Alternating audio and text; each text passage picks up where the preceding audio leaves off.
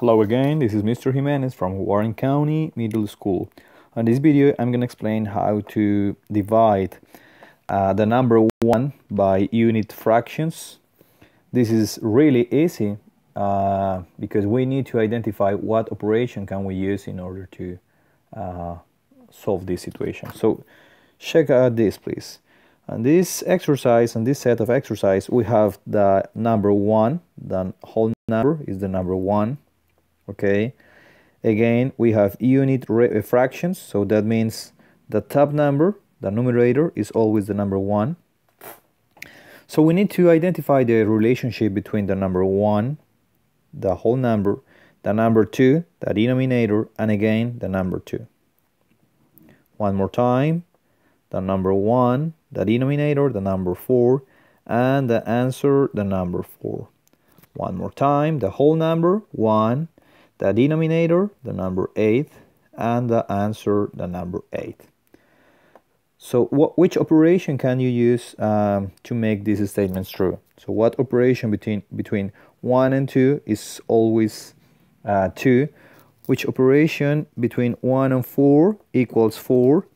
Which operation between 1 and 8 equals 8? Okay, so this is very easy, is multiplication. Okay, 1 times 2 equals 2. 1 times 4 equals 4, 1 times 8 equals 8. So the pattern always, when you multiply, excuse me, when you divide um, the number 1, when you divide the number 1 by a unit fraction, remember the unit fraction uh, is a fraction with 1 in the numerator, the top number.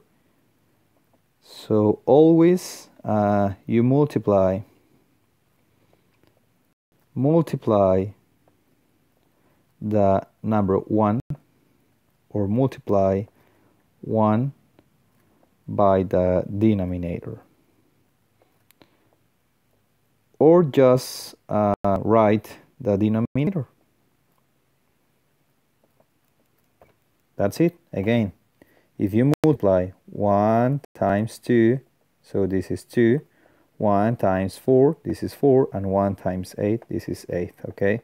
So the, the answer, uh, excuse me, the answer 2 is always the denominator.